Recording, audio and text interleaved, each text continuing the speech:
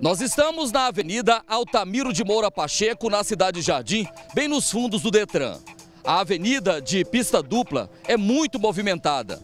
Liga a Avenida Pio 12 ao Hipódromo da Lagoinha. O movimento aqui é intenso. E o grande problema é que os motoristas passam em alta velocidade, a 60, 80 quilômetros por hora. Isso acaba aumentando o perigo, principalmente de pedestres e motociclistas que passam e cruzam essa avenida.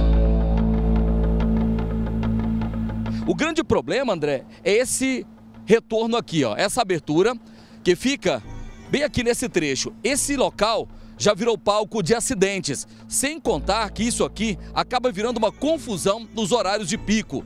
É porque as pessoas que vêm da região do Hipódromo da Lagoinha acabam fazendo esse retorno aqui para pegar de volta na mesma direção. Resultado disso são os acidentes graves. Isso aqui vocês já chegaram a presenciar, inclusive é, motociclista que teve as pernas é, amputadas aqui. Exatamente, motociclista com pernas amputadas, é, motociclista atravessando a ilha acaba acidentando com outros carros ao, ao outro lado da pista. O que nós queremos aqui, Anuales, urgentemente um fotossensor antes dessa rotatória, desse retorno, para inibir a velocidade dos carros, que é realmente muito perigoso. Até mesmo ao entrar na nossa empresa, nós temos dificuldade em razão do grande movimento de veículos em alta velocidade. Olha ali, André, abriu o sinal lá da Pio 12, os veículos estão vindo aqui na direção do hipódromo da Lagoinha e os veículos passam em alta velocidade aqui, né? Em altíssima velocidade, como vocês podem ver né, nas imagens. Nós queremos realmente, digo, disse e repito, Noares, um fotossensor antes desse retorno vai ajudar e muito. Nós estamos gravando aqui por volta das 10 horas da manhã, mas no início da manhã, no final da tarde, isso aqui vira um inferno. Vira um inferno. É, contornar aqui é impossível em razão do grande, grande fluxo de veículos em altíssima velocidade. Isso aí que a gente está vendo agora, né, o motorista fazendo o retorno, muitas vezes é quando acontecem as batidas.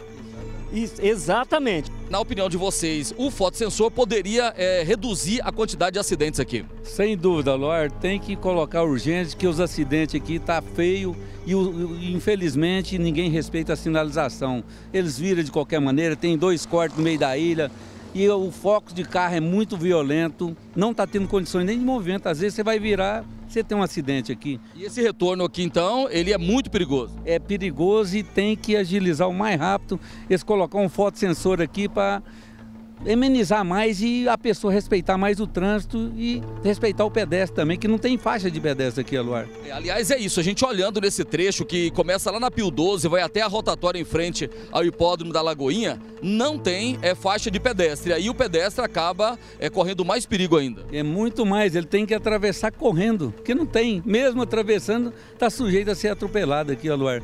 E aqui vocês já presenciaram então muitos acidentes? Muitos acidentes, foi vários com pessoas que ficou danificadas mesmo, perderam o pé, perna aqui já, já chegou até a óbito aqui já também, viu, Alor? Nesse trecho aqui a gente não viu placa, não tem, né? Não existe placa de nada, nem sabe qual é a velocidade. Nem a velocidade, nem os pedestres têm faixa para atravessar também, Alor. E ao longo aqui do canteiro central, a gente vê várias aberturas. Isso aqui acabou criando retornos improvisados para todo lado, né? Correto. Bem em frente à minha loja, ali tem um pedaço de meio fio grande que não tem. Aí o que acontece? Os carros vêm, freiam, faz a, o retorno fora da rotatória, os motociclistas vêm em alta velocidade que percorrem aqui, chegam até lá, a colisão traseira. O pessoal improvisa uma entrada nesses retornos do canteiro. Correto. Eles não chegam até o retorno e, façam, e fazem o retorno onde não devem. Olha ali, ó, né? o motorista, o motociclista tem que esperar né? E olha, olha, o que esse, olha o que esse motoqueiro fez aí, ó. Então, a todo momento tem esse risco de acidente aqui. Correto. Então, precisamos de um redutor de velocidade aqui urgente e uma faixa de pedestre. Porque isso aqui já aconteceram muitos acidentes nesse ponto. Diversos acidentes a gente já viu aqui, inclusive eu mesmo já presenciei dois. Nos dois sentidos, então? Correto, tanto de lá como de cá. E nesse trecho aqui, a gente vê a todo momento é, pessoas passando né, pelo canteiro central improvisado. Eles abrem aqui no meio do canteiro para retornar. Os veículos em alta velocidade e realmente não tem placa de sinalização. Ninguém sabe qual é a velocidade permitida aqui nesse trecho. O seu genro, inclusive, já foi vítima aqui nessa, nesse retorno. Foi ele, por excesso de velocidade, aí veio um motoqueiro e veio e bateu nele. Aqui nesse retorno aqui. É, no retorno. E a velocidade que eles vêm da, do, do, do hipódromo da Lagoinha para cá, até chegar nesse retorno aqui no Detran, a velocidade que eles vêm é altíssima. Não tem uns que não respeita, tem uns carros que vêm altíssimos e a velocidade que transita muita pessoa. Estão na rua, por não ter faixa de pedestre, aí causa muito acidente.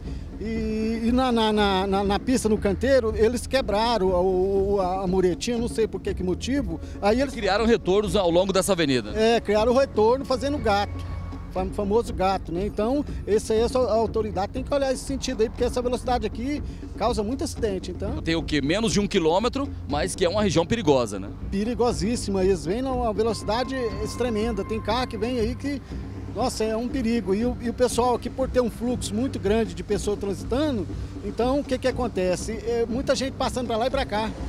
Olha ali, ó, a gente vê tem um motorista ali só, é, tentando entrar, mas o número de veículos, o volume de que vem do hipódromo para Pio 12 é muito grande e nessa hora, quem arrisca acaba correndo o perigo de provocar uma batida, né?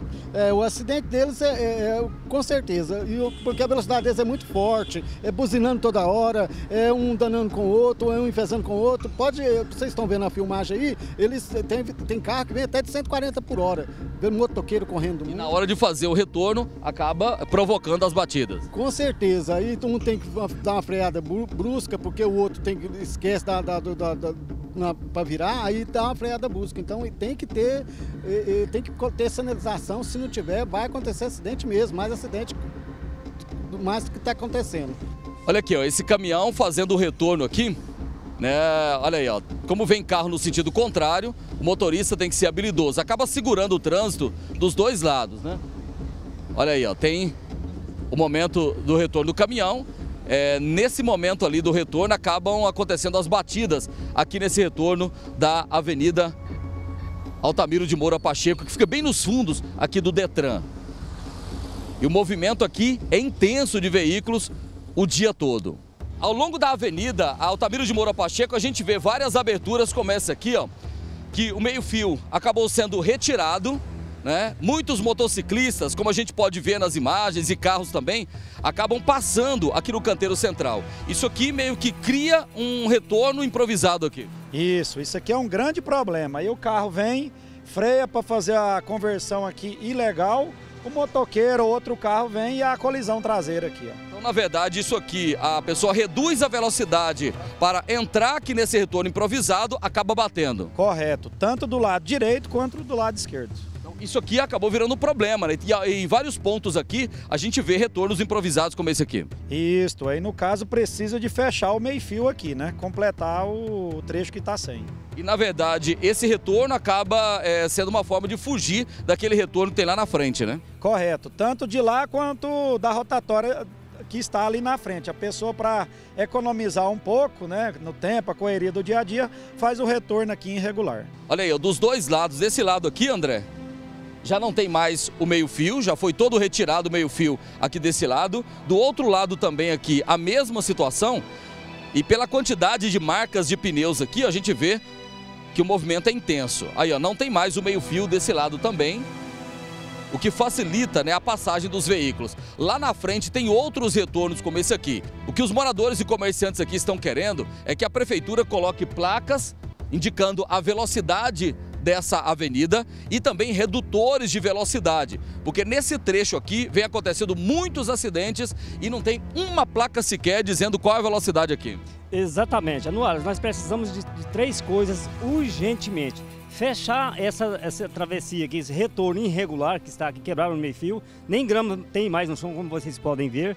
E também o redutor de velocidade lá naquele retorno, nós acabamos de mostrar e uma placa é, orientando os motoristas, proibindo os motoristas de caminhão retornar, fazer aquele retorno ali, como vocês mostraram nas imagens, dois caminhões retornando ali e atrapalhando o trânsito, tanto de lá como de cá. Então, fechar esse retorno irregular, redutor de velocidade e uma placa proibindo o retorno de caminhões. Tá aí, né? São os pedidos feitos por quem mora ou trabalha aqui nessa região da cidade de Jardim para a Secretaria Municipal de Trânsito de Goiânia.